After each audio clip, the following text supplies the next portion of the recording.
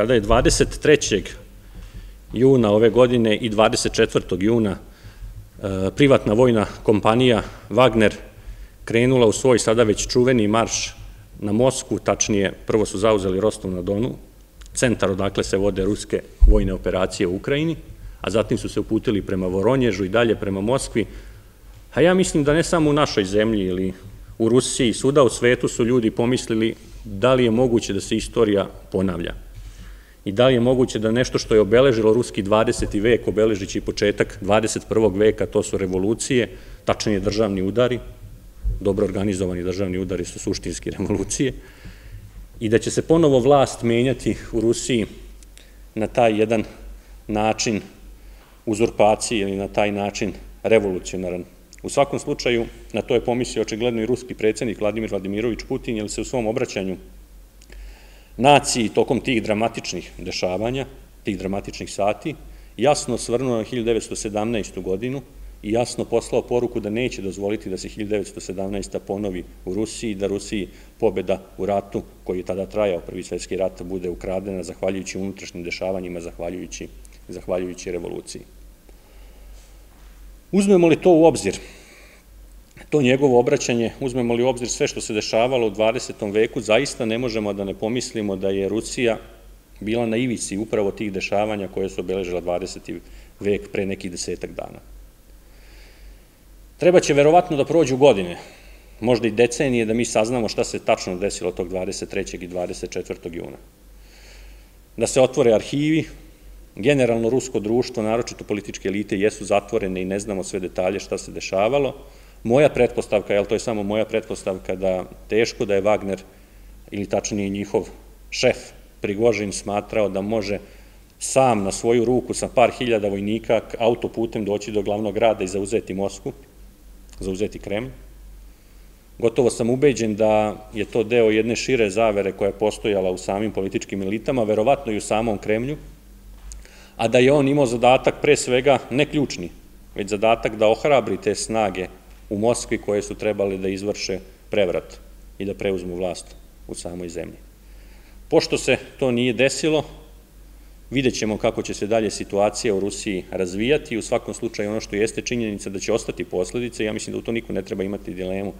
Ne mislim tu samo na posledice, ono što se prvo nameće, i u našoj javnosti se o tome neretko priča, da su posledice na prvom mestu po Vladimira Vladimirovića, koji na ovaj način gubi taj oreol neprikosnovenog gospodara Rusije i nekoga ko ima autoritet koji je nesporan. Posle ovoga naravno da to jeste ugroženo, ali mislim da su posledice verovatno veće u samom sistemu gde će doći do određenih potresa, mora doći do određenih potresa, koji ne možda neće biti na očigled vidljivi, ali još veće posledice će biti na samom frontu, jer ono što jeste suština da privatna vojna kompanija Wagner se pokazala za sada u ratu u Ukrajini kao možda i najoperativnija ruska vojna snaga. Njihovi vojnici su se pokazali najodlučnijim, najspremnijim na žrtvu, to su pokazali u Bahmutu. Tih iskusnih procene su od nekih 25 do 50 hiljada vojnika, uopšte u tom trenutku kada se sve dešava i nisu bile na frontu, tačnije glavnina snaga nije bila na frontu, oni su bili povučeni na odmor, na rehabilitaciju. I ono što se očekivalo, očekivao se njihov povratak, a njihov povratak je bio najavljen inače za avgust mesec, neposredno kada se završi NATO summit, za koji se smatra da ima poseban značaj, jer pik, ruske, pik ukrajinske ofanzive treba da se završi upravo do tog samita, kako bi naravno mogli da ispostave neke rezultate zapadnim zvaničnicima i kako bi opravdali podršku koja im se pruža i očekivali naravno novu podršku, zato je važna ta ukrajinska ofanziva da se realizuje do, do tog samita u, u Vilnusu, ako se ne varam ali u svakom slučaju ono što jeste činjenica da tek nakon toga bi se privatna vojna kompanija Wagner vratila na front i Rusi bi imali nekih od 25 do 40 hiljada najiskusnijih vojnika, odmornih snaga, popunjenih snaga, snaga koje zapadni sami zvaničnici nazivaju trupama koje su kapaciteta jednog armijskog korpusa i koje sajedno sa svojom artiljerijom, avijacijom koje raspolažu su mogle biti jedinice koje mogu odneti neku prevagu na samom bojištu. Ovako sve to isključeno i tu će, po mom mišljenju, posledice biti po Rusiju najveće, ali ono što svakako, ponavljam, ne treba zanemariti, to je da će i u samom unutrašnjem sistemu biti potresa i vidjet ćemo kako će se to odraziti na dalju sudbinu Rusije i da li će to biti možda indikator za neka nova dešavanja u pravcu tih revolucionarnih težnji ili težnjih pokušaja da se vojnim udarom preuzme, preuzme vlast. U svakom slučaju, kao što sam rekao, nije to prvi put da se dešava u Rusiji. Vladimir Vladimirović apostrofirao 1917. jeste, tada su se nekako poklopile okolnosti slične kao i ove u kojima se Rusija danas nalazi, ali okolnosti su se poklopile i 12 godina pre te 1917. tačnije 1905. Te 1905. desila se takođe Ruska revolucija, Ruska revolucija nije, koja nije imala uspeh kao na 1917. ali koja je takođe ostavila dalekosežne posljedice po Rusiju. Ostavila zbog toga što je ona kasnije poslužila kao uzor upravo za sprovođenje i februarske i oktobarske revolucije i ona je postala neka vrsta modela na koji se može uzdrmati vlast u Rusiji i na koji se možda može pokušati preuzeti vlast na Rusiji, u Rusiji. Oni koji su učestvovali u toj revoluciji 1905. sa više ili manje aktivnosti, suštinski, 12 godina kasnije, 1917. naučeni iz grešaka koje su pravili, uspeli su da sprovedu tu revoluciju. Upravo zbog toga, poštovane dame i gospodo, dragi prijatelji, Kulturnog centra Novog Sada, mi ćemo govoriti o toj revoluciji 1905. o krvavoj nedelji, čuvenoj krvavoj nedelji s kojom je započela ta revolucija i povućemo paralelu i sa dešavanjima 1917. i sa ovim dešavanjima danas, baš kako bi podsjetili negde sve vas ili skrenuli pažnju onima koji ne znaju kako taj sistem funkcioniše i da sve što se dešava danas nije nimalo slučajno. Čak je nešto što je već i tekako isprobano u više navrata i pokazalo se, pokazalo se kao efikasno, je to je negde, to je negde suština. Naime, kada govorimo o tim revolucionarnim dešavanjima, uvek treba na prvom mestu istaći okolnosti u kojima se one dešavaju. Jer to je negde možda najvažnije dok samo kidač je nešto što dođe kao, kao nešto što će pokrenuti lavinu dešavanja, a koja će kasnije ići svojim tokom. Kada govorimo o revoluciji u Rusiji 1905. i uzrocima koji su doveli do njenog izbijanja ili okolnostima koje se oni dešava, dešava moramo naglasiti da su na prvom mestu te okolnosti bile socijalno-ekonomske, na drugom mestu političke, na trećem mestu, na trećem mestu nacionalne. Naime, ta tri se segmenta u ruskom društvu su bila izložena brojnim brojnim izazovima i onda ćete videti u suštini zašto je postojalo jedno nagomilano nezadovoljstvo u ruskom društvu. Hajde da na samom početku krenemo upravo od tih socijalno-ekonomskih razloga. Naime, gorući problem Rusije, ja sam to podlačio na većini prethodnih tribina na kojima sam govorio o toj slavnoj ruskoj dinastiji Romanov, o vladarima iz te dinastije Romanov, goreći, gorući problem ruskog društva je bilo nerešeno agrarno pitanje zemlja u kojoj 83, 85% stanovništva u tom trenutku različite su procene živi na selu, naravno da najviše pogađa upravo ono što se tiče agrarnog pitanja. A agrarno pitanje je bila rak rana ruskog društva i nešto što nije rešavano tokom 19. stoleća. Pokušali su neki poput Aleksandra II. zbog čega je dobio taj nadimak reformator, ali zbog unutrašnjih otpora u društvu, on to nije uspeo sprovesti do kraja. I to je imalo kobne posledice. I mi danas kada govorimo o Petru Velikom i Katarini Velikoj, to su zaista grandiozne ličnosti ruske dinastije Romanovi i ruske države, ali ne zaboravite da su to ličnosti koje su značajno doprinele stvaranju upravo tog gorućeg problema unutar ruskog društva ili u njihovo vreme došlo do značajnog gubitka ličnih sloboda na kraju krajeva i kontrole nad zemljištem od strane ruskih seljaka ili ruskih metova. I taj proces kmetstva je upravo u vreme i Petra Velikog, naročito Katarine II. uzeo, uzeo maha. I kasnije boriti se da se, te, da se ta okolnost menja nije bilo ni malo lako i ono što jeste suština već u 20. veku, na početku 20. veka vi ste imali taj gorući problem da imate 80, faktički 3 ili 85% društva koje je nezadovoljno svojim stanjem, a kad imate 83 ili 5% društva nezadovoljnim stanjem u zemlji, svojim ekonomskim položajem, onda imate atomsku bombu u društvu koja uvek može može da eksplodira. I velika neodgovornost ruskih političkih elita je upravo u tome što nisu imale snage da se izbore sa tim da seljaci do kraja dobiju tu zemlju, već su imali uglavnom neka polovična rešenja, formiranje zajedničkog fonda zemlje, pa onda upravljanje tim zajedničkim fondom zemlje, pa zapadanje u dužničko ropstvo seljaka, jer nisu mogli da otplate tu zemlju koju su uzimali uzimali od plemstva, sve je to predstavljalo, ponavljam, gorući problem, ali nedovoljno hrabrosti ruske političke elite jednostavno uslovilo to nezadovoljstvo i tu veliku, taj veliki problem s kojim se rusko društvo suočavalo. Drugi važan socijalno-ekonomski moment je, su ruski gradovi i ruska radnička klasa.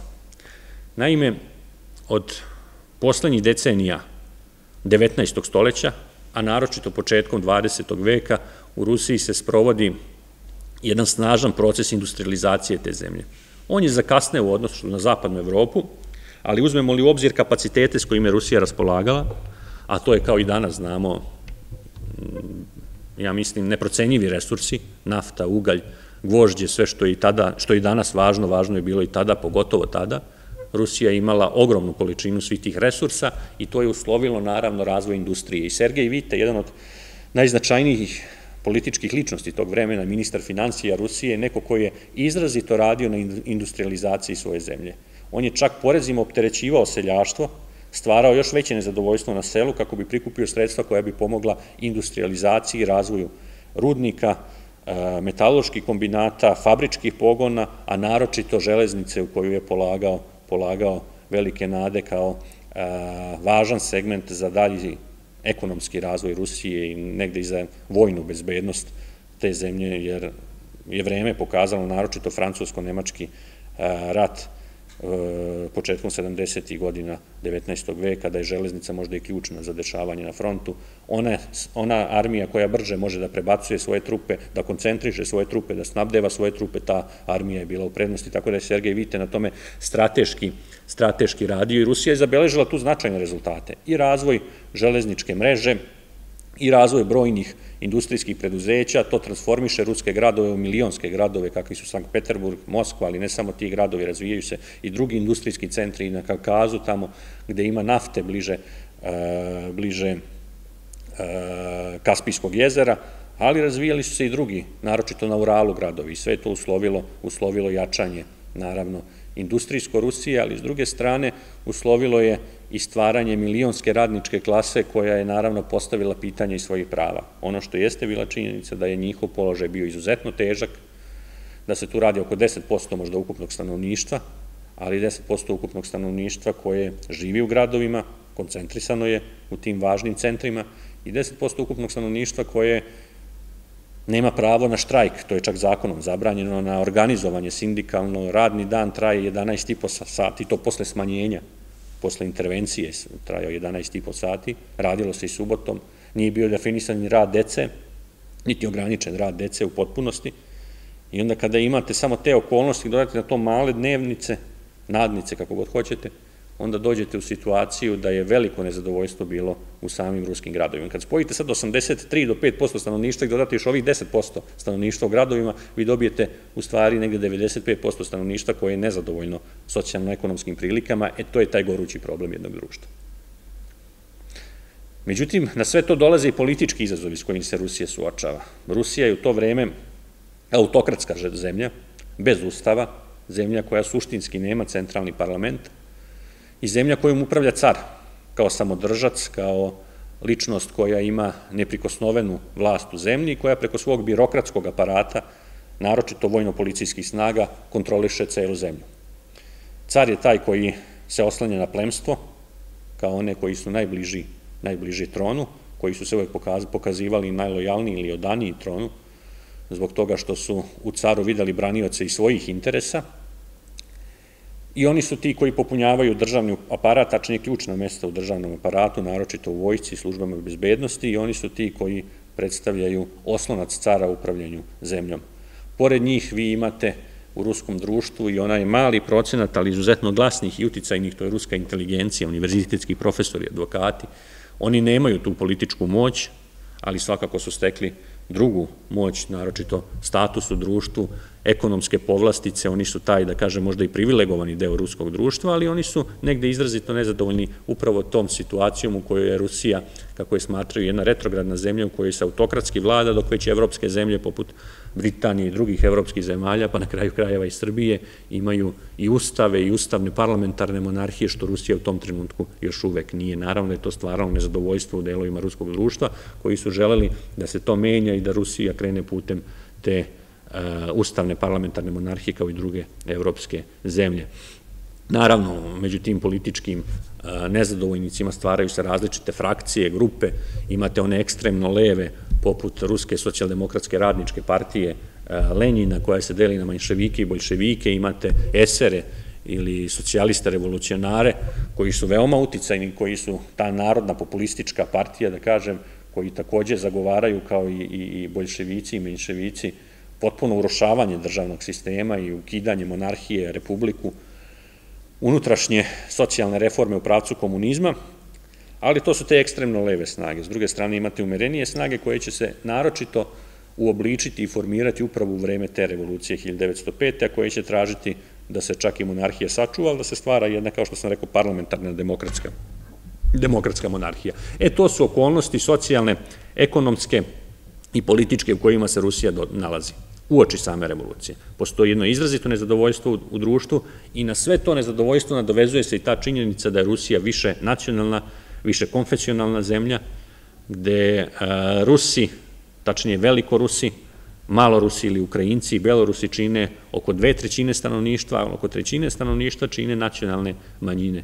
Čine Poljaci, čine Jevreji, čine turkmenski narodi, kavkaski narodi, čine pribaltički narodi i onda kada uzmete sve to u obzir, onda shvatate da postoji i snažna nacionalno nezadovoljstvo, tačnije kod tih naroda koji žele svoju dalju emancipaciju, ne samo dalju emancipaciju, oni teže sticanju i pune pune nezavisnosti, tako da i ta nacionalna komponenta nije beznačajna, ne treba i ni precenjivati, ali nije beznačajna. Ruski car se protiv toga borio rusifikacijom, koja suštinski nije dala do tada adekvatne rezultate i to je naravno bio još jedan izvor unutrašnjeg nezadovoljstva u zemlji. E sada, na sve to nezadovoljstvo dešavali su se u Rusiji protesti, dešavale su se i demonstracije, iako ponavljam to nije bilo ni legalno ni dozvoljeno, ali dolazilo je do tih protesta. Međutim, obično su se oni završavali ili reakcijom policije ili bi bili čak i bez reakcije policije ugušeni, da li popuštanjima, da li nekom dogovorom, sa pobunjenim radnicima, uglavnom nije bilo za Rusiju nepoznanica da se dešavaju demonstracije. Međutim, 1905. godine, u januaru mesecu, 11. januara, ako se ne varam, u fabrici Putilova, koja je inače proizvodila opremu za železnicu, desit će se unutrašnji problemi zbog otpuštanja određenog broja radnika, zbog čega će hiljade radnika te fabrike izaći na ulice, a onda će naredni dan se u to uključiti desetine drugih fabrika koje su postojale u Sankt Peterburgu, radnika tih fabrika, priključit će se tim demonstracijama i vi ćete već naredni dan imati po nekim procenama preko 80.000 ljudi na ulicama. Da bi naredni dana gotovo i ostale fabrike u Sankt Peterburgu obustavile svoj rad, radnici izašli na ulice i vi biste faktički, vi ste faktički došli u situaciju da imate četvrt miliona ljudi na ulicama, oko 250.000 ljudi na ulicama, u prestonici Rusije. To je naravno postalo jedan ozbiljan problem, posebno zbog toga što je Rusija u tom trenutku u ratu protiv Japana. I tu dolazimo sad do tog jednog ključnog momenta za razumevanje. Pogledajte 1905. Rusija je u ratu sa Japanom, momentu kada počinje revolucija. 1917. Rusija je u Prvom svetskom ratu, kada počinje unutrašnja revolucija. 2023. kada počinje ova Wagnerova pobuna, Rusija je takođe de facto u ratu, iako oni to možda tako ne zovu, zovu specijalna vojna operacija, ali de facto u ratu u Ukrajini, i to ne samo protiv Ukrajine, već protiv kolektivnog zapada, kako, kako se to neretko u javnosti kaže. Znači, to pravilo se uvek potvrđuje. Onaj ko želi da utiče na političke tokove u Rusiji, iznutra i spolja, traži idealan moment da bi mogao da menja vlast. Na žalost ili nesreću Rusije, te strukture su zaključile da je idealan moment onda kada je zemlji najteže, onda kada se nalazi u sukobu. Jer tada je ta ratna psihoza nešto što sve nezadovoljstvo koje postoji u društvu podiže na jedan viši nivo. Jer možete vi biti i nezadovoljni socijalnim statusom, ekonomskim prilikama, nacionalnim, e, nacionalna netrpeljivost može biti snažna, ali kad imate rat, kad kovčezi pristižu sa fronta stradalih, Kada iscrpljujete dodatno ekonomske potencijale, to stvara dodatnu psihozu u društvu i to opterećuje strašno društvo. E, to je najveći problem s kojim se Rusija u tom trenutku suočava. E, u tim okolnostima, ponavljam, desetine hiljada radnika ili stotine hiljada radnika vi imate na ulicama. Međutim, tu dolazimo do jednog krajnje zanimljivog slučaja. Ko je ključna ličnost koja vodi te demonstracije? Suštinski vlast to zna. To je Georgi Gapon, To je sveštenik ruski, koji je inače povezan sa radničkim udruženjima. Ni manje ni više on se nalazio de facto na čelu nekoliko udruženja fabrika, radničkih udruženja u, u, u Sankt Peterburgu. Naravno, pitaćete se kako je moguće da se sveštenik nalazi na čelu tih fabrika, zašto nije neki radnik. Ima to čak i smisla negde ako vidite kako su razmišljale ruske službe bezbednosti. Zašto? Zato što su oni videli da raste broj stanovnika u gradovima, da raste broj stanovnika u tim da radnika u industrijskim objektima. Samim tim oni su tražili način kako da kontrolišu te radnike. Bilo je oni koji su zagovarali oštre mere, ne dozvoliti nikakvo sindikalno organizovanje, nikakav štrajk, kad se to pojavi policijom i vojskom razbiti, rasterati i završiti tu priču, na taj način sprešćiti unutrašnje potrese u društvu. Međutim, bilo je onih umerenijih u ruskim snagama bezbednosti koji su razmatrali opciju da treba te radničke organizacije suštinski staviti pod svoju kontrolu i pod kontrolu policije. Zašto?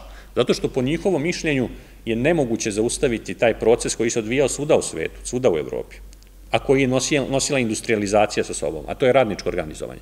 Radnici vi njima branili ili ne branili, oni će se opet organizovati da zaštite svoje prava. Bilo to legalno ili nelegalno. Samo je pitanje da li ćete se s njima obračunavati direktno, s policijom, ili ćete pokušati da kontrolišete sindikate. Očigledno je jedan deo službi bezbednosti smatrao da treba kontrolisati sindikate i negde je smatrano da najbolje to može se raditi preko možda nekog čoveka iz crkve, zašto? Jer crkva ima tu komponentu zaštite pojedinca, samilosti, milosrđa, ljubavi. Sveštenik može biti tu pozitivna ličnost da odigra tu ulogu okupljanja radnika, sem toga sveštenik je neko ko je povezan sa crkvom, a crkva je lojalna državi, i na sve to sam Gapon, ono što se uopšte nije krilo, je direktno bio povezan sa policijom i policija je čak finansirala njegov rad. I tu dolazimo u paradoksalnu situaciju, da demonstracije vodi čovek koji je direktno na vezi sa policijom, sa ruskom policijom.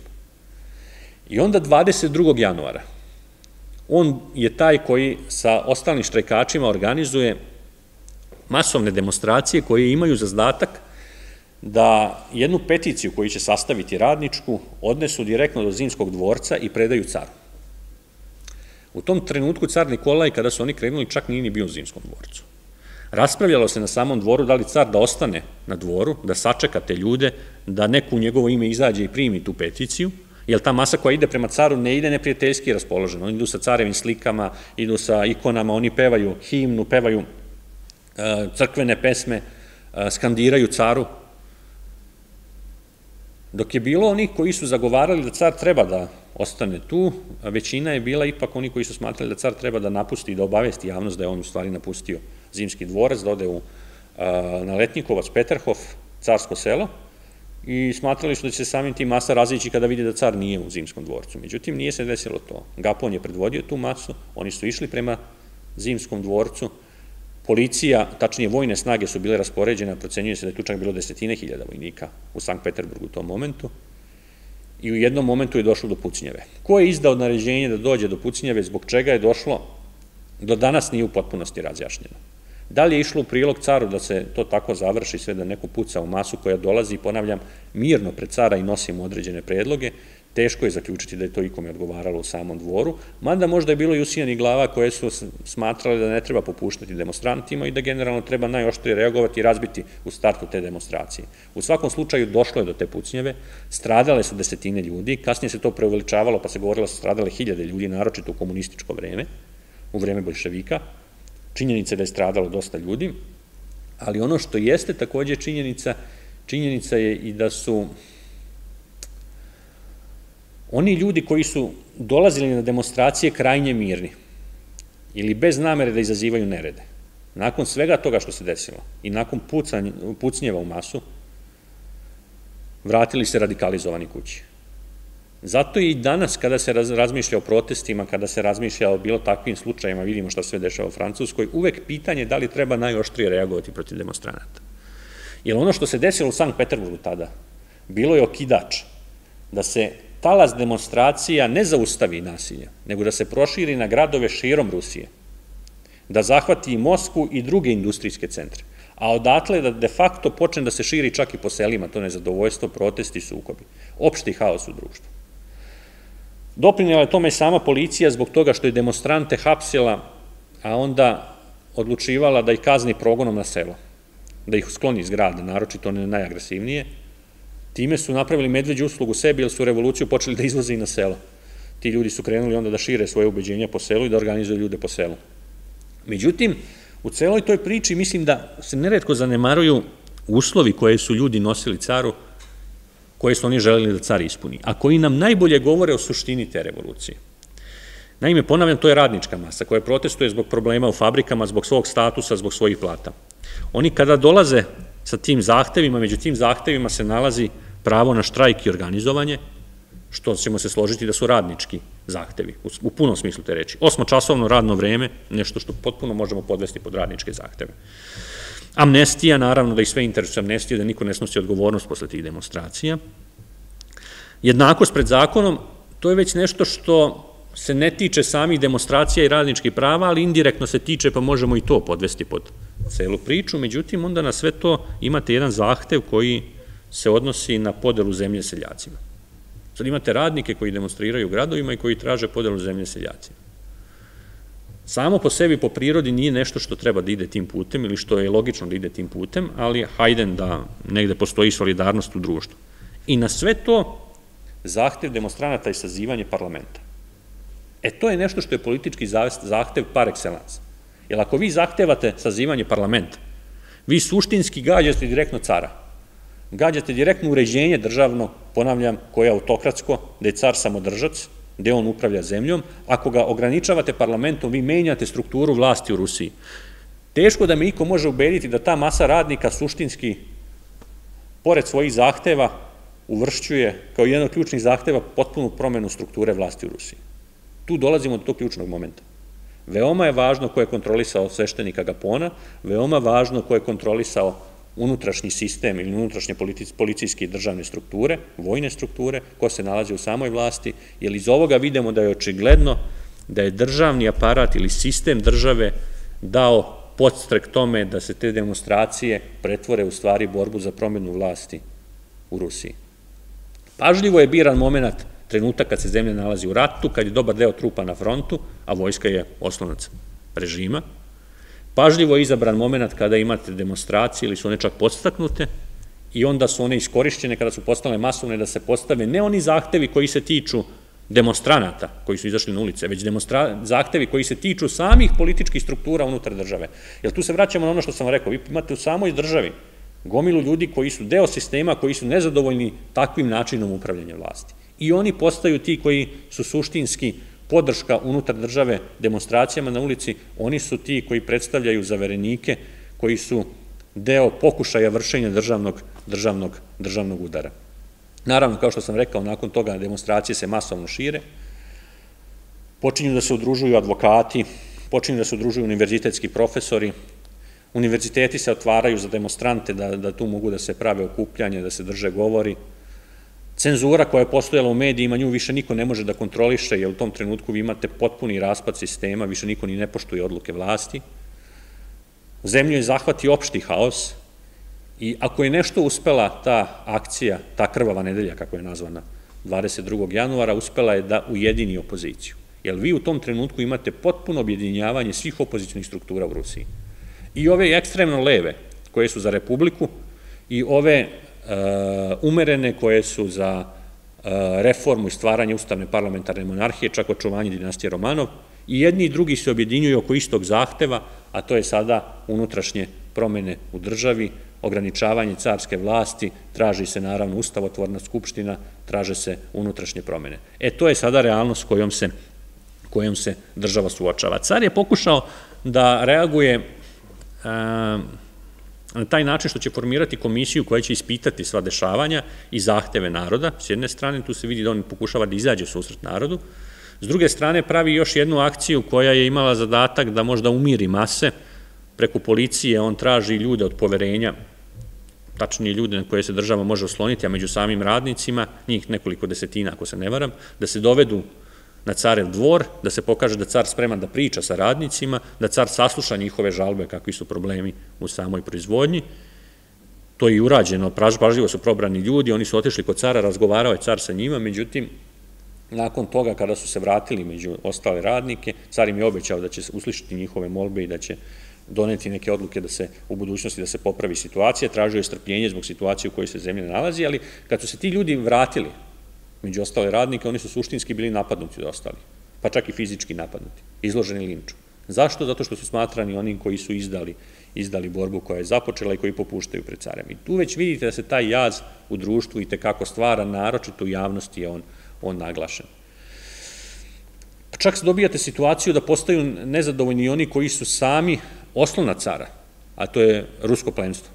I među tom plenstvom je bilo liberalnog plenstva koje se približilo ovim umerenim buržovskim strukturama koje su želele unutrašnje promene u društvu, ali ste imali to konzervativno rusko plenstvo, koje je generalno bilo oslona cara, a koji su bili nezadovoljni stanjem u zemlji i generalno su i oni počeli da zagovaraju formiranje skupštine, ali skupštine koja bi bila proporcionalno birana, jer su znali da ako tako bude birana, ili ne proporcionalno, da, da bude najbolji primer odnosa stanovništva u ruskom društvu. Jer ranije, kad god su se pravila ta zemstva, lokalni ruski parlamenti, vodilo se računa da iako je plenstva najmanje 2-3%, da oni imaju po 30% poslanika. Građana kojih je bilo možda desetak posto da imaju 20 i nešto posto poslanika. A seljaka kojih ima 85%, oni su birali tek negde 30 nešto ili 40 nešto poslanika. Ono što su želeli sada te aristokratske strukture, to je da se selo pita koliko ima stanovnika, pa neko oni biraju. Ako treba i 80% parlamenta, zašto to? Zato što su smatrali da se više ne može verovati ni građanima, pogotovo ne ni plemstvu koje je zaraženo liberalizmom, jedini kome se može verovati je ruski seljak koji za te ideje još nije negde, kome te ideje još nisu prihvatljivi, koji nije negde zatrovan liberalizmom i socijalizmom. U tim okolnostima čak i careva najbrža, najbliža okolina, njegovi saradnici traže neku vrstu popuštanja. Car postepeno dugovlači sve te e, razgovore, komisija koja je formirana daje određene e, podatke koji, kojima car nije zadovoljan ili određene predloge kojima car nije zadovoljan, on raspušta komisiju, ali ono što je suština da pod pritiskom svoje najbliže okoline i pritiskom javnosti, on se na neki način obavezuje neki desetak dana posle krvave nedelje da će izaći u susret zahtevima zahtevima samih demonstranata. Važan je tu 3. mart i taj martovski manifest ili važna dva manifesta, to je nekih mesec dana je već prošlo mesec i po dana od krvave nedelje, narod i dalje na ulicama, situacija se ne smiruje. I tu je već caru verovatno bilo jasno da neće odugovlačenjem uspeti da razbije masu, da ih natera da se raziđu i on povlači novi potez, a to je da izdaje isti dan suštinski dva manifesta. Prvi manifest u kome brani autokratiju, gde jasno kaže da neke strukture u zemlji pokušavaju da uvedu strani sistem uprave u rusku državu, koji nije prirodan Rusiji, da je njegova želja da sačuva Rusiju od svih tih izazova s kojima se suočava, da na prvom mestu zaštiti zemlju od spojnog neprijatelja, jer zemlja se nalazi u ratu, da iščupa koren tog revolucionarnog raspoloženja unutar zemlje, a da tek onda nakon toga on ide putem određenih, određenih promena u društvu koje će biti u skladu sa zakonima koji u zemlji postoje. Naravno da su i careva najbliža okolina od ministra policije i ostali bila krajnje nezadovoljna takvim rešenjem, jer su videli da to time narod apsolutno neće biti zadovoljan.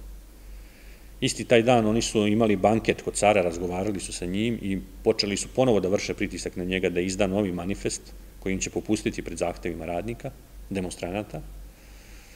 I on tada pravi taj ustupak izdaje novi manifest u kome se jasno obavezuje da će formirati naredno predstavništvo koje će se baviti donošenjem zakona. Da će se raditi i na slobodi i na šigrenju sloboda građana i to je nešto što je u tom trenutku zaista imalo pozitivno dejstvo na dobar deo ljudi koji su bili na demonstracijama. Naročito onih umerenih, koji nisu želeli potpuno urušavanje vlasti, e, rušenje državnog sistema, svrgavanje cara, uspostavljanje republike, komunistički sistem, nego koji su želeli politička prava i slobode za sve i ustavnu parlamentarnu monarhiju. Tako da taj martovski događaj možemo smatrati taj martovske manifeste i nekom vrstom neodlučnosti cara, jer isti dan izdaje dva manifesta, ali dva manifesta koji su zadovoljili jedne i druge. I ove konzervativne strukture, onaj prvi manifest, oni su se pre svega fokusirali na njega, zanemarujući ovaj drugi manifest, a oni koji su bili liberalno više nastrojeni, naročito umereno liberalno, oni su se uhvatili za ovaj drugi manifest i podržavali su, naravno, taj drugi manifest i nakon toga, u stvari, car izdaje nalog da počne da radi komisija koja će pripremiti sam izborni zakon i tu je zadužio ministra unutrašnjih poslova Buljigina da on radi na tom zadatku. Međutim, i nakon toga on de facto odlači, razlači celu situaciju i pokušava da izbegne da se što pre realizuje ceo taj proces, očigledno smatrajući da koliko vreme bude e, prolazilo da će se demonstracija osipati, da će doći do raskola u samom tom demonstrantskom taboru. Jer ono čega je car i njegova okolina, čega su bili svesni, da postoji jedinstvo među demonstrantima, ali da to jedinstvo nije prirodno. Ono je samo privremeno. I kad tad doći će do sukoba unutrašnjih struktura, naročito ovih radikalno levih i ovih umereno desnih, jer oni jednostavno ne, mogu pomiriti svoje interese. Međutim, onog momenta kada je shvatio da revolucija zahvata i vojne strukture, pa vi imate pobunu u ruskoj crnomorskoj floti, gde imate pobunu na brodu Potemkin, gde bukvalno mornari preuzimaju brod, ubijaju oficire, proteruju oficire, zatim se upućuju prema Odesi, gde na ulicama traju sukobi vojske i demonstranata, u tim okolnostima zaista je situacija postala kritična. Kasnije taj brod Potemkin otišao u Rumuniju, u tu neutralnu, neutralnu zemlju, da kažem, u Konstancu, gde su predali svoj brod rumunskim vlastima koje su koji su Rumuni kasnije vratili Rusiji, ali ono što jeste suština da je to bio okidač i najava širenja revolucije i na same oružane snage. A kad na sve to dodate i poraze koji Rusi trpe, a koji čije vesti sa fronta stižu u sam Sankt Peterburg, naravno u ratu proti Japana, to je poraz kod Mugdene, katastrofa Baltičke flote kod Cušime, prolaza Cušime, onda imate situaciju koja je za cara, cara izrazito nepovoljna. E, u tim okolnostima on povlači ključni potez. On se oslanja na Sergeja Vitea ponovo, tog ministra financija koji se pokazao veoma uspešnim, čoveka koji inače bio protivnik rata protiv Japana, ali je pobedila ratna struja, on je tada bio i potisnut, Sada on je dobio zadatak da pregovara o miru protiv Japana, ali car video da u tom trenutku ne može rat da vodi do kraja, iako Rusija nije poražena u tom ratu, ali suštinski je shvatio da svako dugovlačenje sukoba će štetiti upravo prilikama unutar zemlje i on onda povlači taj ključni potez, možemo ga tako nazvati, a to je da Sergej Vite, koji potpisuje mirovni ugovor sa Japancima, postaje ključni čovek cara i on dobija zadatak da pacifikuje zemlju. Vite je caru odmah izneo situaciju kakva je u zemlji, onako kako je on vidi, i predložio mu dve opcije. Jedna opcija je radikalna vojno-policijska akcija, znači zavođenje apsolutne diktature u zemlji, imenovanje diktatora koji će svim snagama policijskim vojnim ugušiti tu pobunu. A druga opcija je po njegovom mišljenju bolja, to je da se saslušaju zahtevi i da se napravi neka vrsta kompromisa, da se izađe u susret, u susret zahtevima ljudi na ulici i da se na taj način rusko društvo iznutra reformiše, što je očigledno i Sergej Vite smatrao da je neophodno. Tako da na možda indirektan način, iako direktno nije bio uključen u zaveru, možemo ga smatrati onim koji je e, shvatio da ove okolnosti kakve su u Rusiji mogu biti iskorištene za unutrašnje promene. Car se dvoumio između ta dva predloga Vitea, ponavljam, Vite je bio zagovornik ovog reformskog rešenja, izradio je čak plan kako to treba da se uradi, koja popuštanja trebaju da se izvrše. Car je u prvima kategorički odbijao da izvrši ta popuštanja, međutim, onda pod pritiskom najbliže okoline, čak članova njegove porodice, on pravi konačni ustupak i prihvata taj plan Vitea i izdaje manifest 30. oktobra, čuveni oktobarski manifest koji će biti ključan za rešavanje, rešavanje krize koja je bila u Rusiji. Prema tom manifestu od 30. oktobra Vlada se obavezala da će obezbediti narodu slobodu reči, zbora, udruživanja, potpuna građanska prava, jednakost svih, lične slobode zagarantovane, što možemo smatrati nekom temelj, nekim temeljnim demokratskim vrednostima koje je ruska vlada obećala narodu.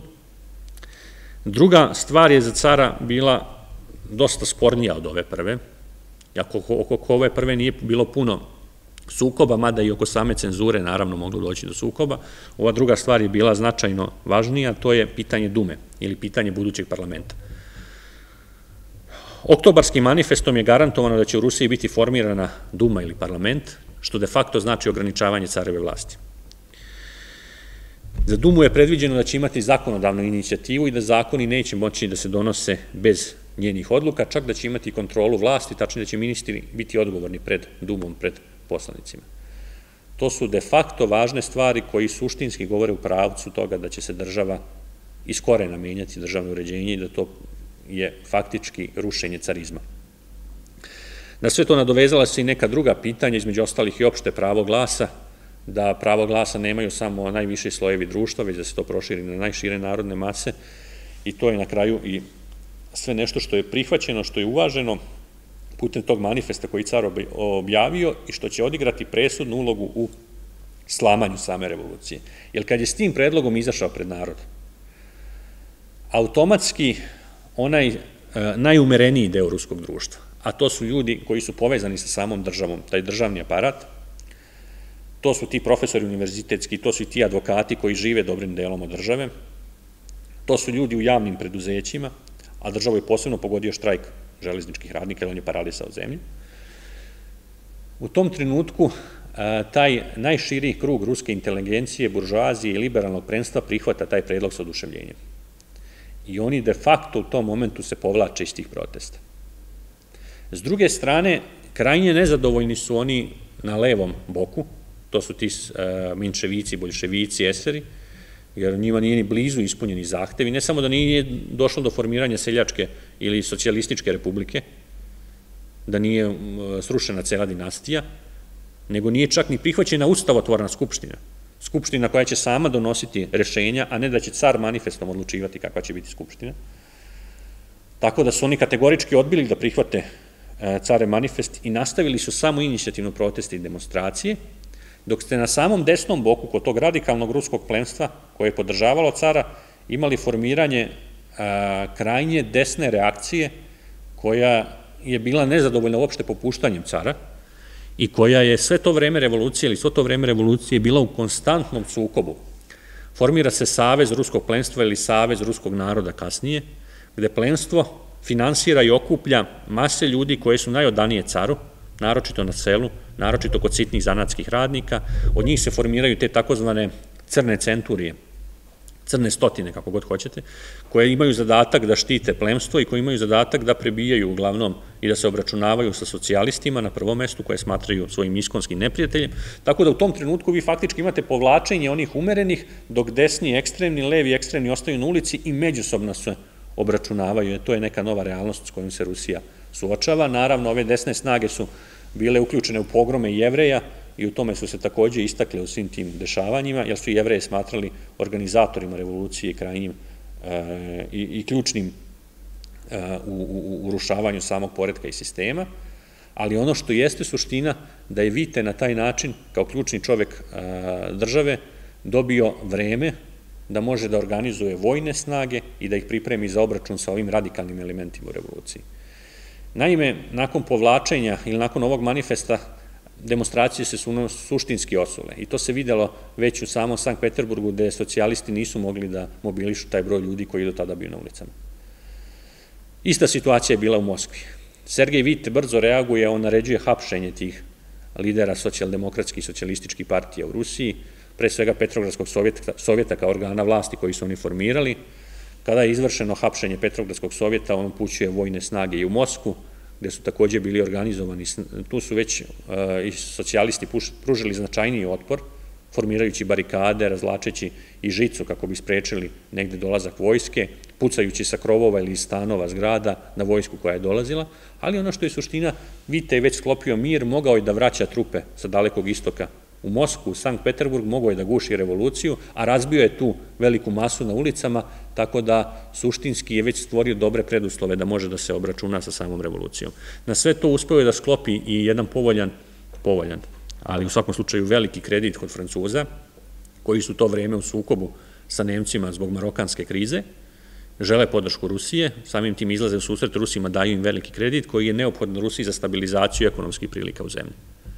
I de facto vi imate taj proces obračunavanja vojske sa revolucijom, da se u krvi guši pobuna u Moskvi i Sovjet tamošnji se takođe raspušta, hapse se revolucionari ili beže u progonstvo i na taj način faktički se revolucija završava ključnom političkom odlukom cara Na prvom mestu možemo to nazvati u stvari oktobarskim manifestom, koji je dobrim delom ne bio plod careve želje koliko insistiranja careve okoline i samog Vitea da se na taj način guši pobuna. I uspelo se u tome. Pobuna je na kraju ugušena.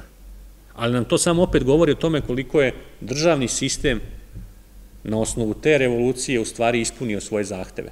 Oni su želeli ustavnu parlamentarnu monarhiju, oni su dobili ustavnu parlamentarnu monarhiju manifestom, Kad su dobili ustavnu parlamentarnu monarhiju, oni su se povukli i pustili da sistem može normalno da funkcioniše. I sve te sabotaže unutar službi bezbednosti, vojske, policije, de facto su prestale, sistem je profunkcionisao i revolucija je de facto ugušena.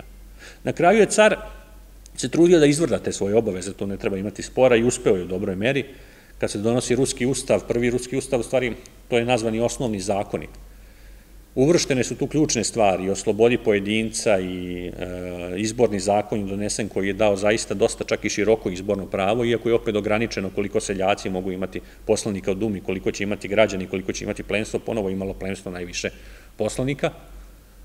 Zatim, zatim, u stvari, seljaci su imali najviše poslanika, ali s obzirom na koliko ih je bilo u društvu, a bilo ih je preko 80%, imali su 40% poslanika, to je jako malo u odnosu na njihov broj, dok je plenstvo sa neki do 5% ili manje od 5% ukupnog stanovništva imalo, verovali ili ne, negde oko 30 i nešto posto poslanika, što vam govori o neravnopravnosti u samom parlamentu, ali ono što jeste suština da je car formirao i gornji dom parlamenta ili savet, senat, gde, gde je on postavljao polovinu senatora, polovina se birala iz, da kažemo, esnafa ili birao ih je univerzitet, birao ih je plemstvo, sveštenstvo, tako da je on tu sebi obezbedio većinu, a onda tu skupštinu koja je imala zakonodavnu inicijativu i zakonodavnu vlast, Rusku dumu, je ograničio senatom ili i senatu dao zakonodavnu vlast. De facto je stvorio dva parlamenta u kome jedan i drugi moraju da poklope se sa svojim odlukama, da jedni i drugi potvrde zakon da bi on bio usvojen. Na taj način, pošto imao većinu u senatu, nijen zakon nije mogo opet biti usvojen bez njegove volje. Za sebe po tom ustavu je on zadržao najšire moguće vlast. on je upravljao vojskom, mornaricom, spoljnom politikom, on je sklapao međunarodne ugovore, on je mogao da raspusti Dumu, da sazove Dumu, faktički da donosi čak zakone u tim u tom interregnumu između zasedanja Dume, što je Duma morala potvrditi, ali to je čak imao pravo, tako da je njegova vlast u velikoj meri bila očuvana. Ali na ovaj način popuštanjima on je uspeo, tačnije zatezanjima on je uspeo da maksimalno obezvredi taj manifest i na kraju je Duma formirana, ali ona je više imala savetodavnu ulogu i više je bilo mesto za okupljanje političkih grupacija nego što je, nego što je realno imala moć. I svega toga možemo izvući pouku da je ta ruska revolucija 1905. suštinski donela, dovela do određenih promena, da te promene nisu bile beznačajne, ali da u svakom slučaju nisu zadovoljile masu. Nisu zadovoljile ni ove levo radikalne koji su razbijeni, ali koji su želeli republiku i nastavili da se za nju bore, Nije zadovoljila ni ove umerene, jer to što im je car obećao na kraju nije u potpunosti ispunio. Oni su samo čekali sledeći moment kada će ponovo stupiti u akciju i taj sledeći moment je bio novi rat, prvi svetski rat i 1917. I ponovo su te strukture unutar države u stvari urušile Rusiju i urušile je faktički ovaj put na taj način da su i cara potpunosti eliminisali, jer nisu želeli da ponove grešku iz 1905. a to je da car ostane na vlasti, jer su očigledno shvatili da bi to opet moglo da dovede do urušavanja, do urušavanja e, njihove vlasti ili pokušaj da preuzmu vlast u zemlji. I onda kada to uzmete u obzir, shvatite da ta revolucija nije rešila probleme ruskog društva. Car je preživao tu revoluciju. Ali ono što jeste, ona je poslužila kao idealan obrazac onim snagama koji su u revoluciji učestvovali, a učestvovali sam Lav Trotski. Učestvovali su i knez Lavov koji će biti prvi predsednik 1917. privremene vlade. Učestvovali su, znači, mnogi koji će 917. poučeni greškama iz 905. uspeti da sprovedu revoluciju. A ta revolucija 905. je suštinski obrazac za urušavanje vlasti u Rusiji i 917. neki bi rekli i krajem 80. i početkom 90. prošlog veka, e, godina prošlog veka, da je isti princip primenjen i de facto isti princip pokušan da se primeni i ove 2023. I vi kad vidite, vidite jedan kontinuitet gde imate unutrašnje delovanje, unutrašnje strukture koje govore pre svega o neodgovornosti ruske političke elite, kulturne, društvene elite, generalno elite, koja ne razume da u trenucima koji su posebno teški po zemlju, a to su ratovi u kojima se zemlja nalazi, da se u tim trenucima ne može urušavati zemlja, ne može razbijati zemlja, već to je moment kada treba postići najviši stepen jedinstva, a onda nakon toga rešavati političke probleme unutrašnje. Međutim, ono što jeste suština da ta ruska elita kao po pravilu prihvata ove okolnosti kao najbolju priliku za ostvarenje svojih političkih ciljeva i na taj način Rusija je trpela katastrofalne posledice kroz svoju istoriju. Jer onda kada je bila nadomak pobede, što je Putin neretko govorio, kada je 1917.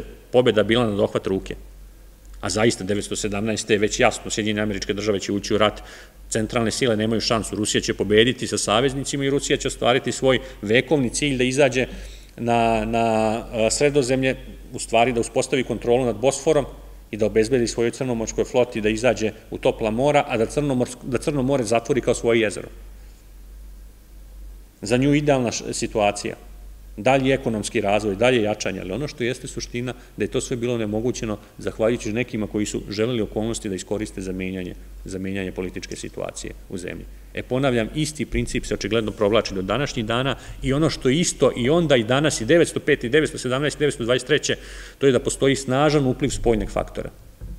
Te 905. vi ste imali tekako japansku obaveštajnu službu koja je podržavala i finansirala te proteste, proteste i organizacije u Rusiji, I ne samo ona, ima indicija i britanska obaveštena služba koja je to vreme povezana savezničkim odnosima sa Japanom, a protiv Rusije. I istu situaciju ste imali 917. kada Nemačka ovaj put finansira tu revoluciju u Rusiji, ili sada kada postoje indicije da i tekako Prigožin i njegova okolina bila povezana sa određenim spojnim faktorom, to još nije razjašnjeno, ali ponavljam, postoje indicije da i ovaj put ponovljen, ponovljen isti taj model. Ono što jeste suština da Iz svega ovoga se može zaključiti da ovaj put u Rusiji revolucija nije uspela. A da li je to u stvari pouka ruskom društvu i da li je rusko društvo izvuklo određene pouke iz događaja iz prošlosti pa nije dozvolilo da se tako nešto ponovi ili ćemo u budućnosti biti suočeni sa nekim novim izazovima s kojima će se vlasti u Kremlju suočavati, to će vreme pokazati. Ono što jeste suština da ukoliko Rusija nastavi ili ukoliko ruska elita nastavi sa takvom politikom kao do sada, Rusiju mogu očekivati samo najgori mogući ishodi i samo najgora moguća rešenja. Već su ih jednom preživjeli, ako dozvole sebi da ih prožive još jednom, to će za njih biti najveća moguća katastrofa. I tu ću samo završiti sa rečima e, koje su svima dobro poznate, ali u ovakvim okolnostima i treba ponoviti. Važi i za nas koliko i za Rusiju. Pametni narodi uče na tuđim greškama. Oni manje pametni uče na svojim greškama. A oni glupi, oni ne uče uopšte na greškama. Na svakome da odluči kako ga sudbina čeka. Ja vam se zahvaljujem.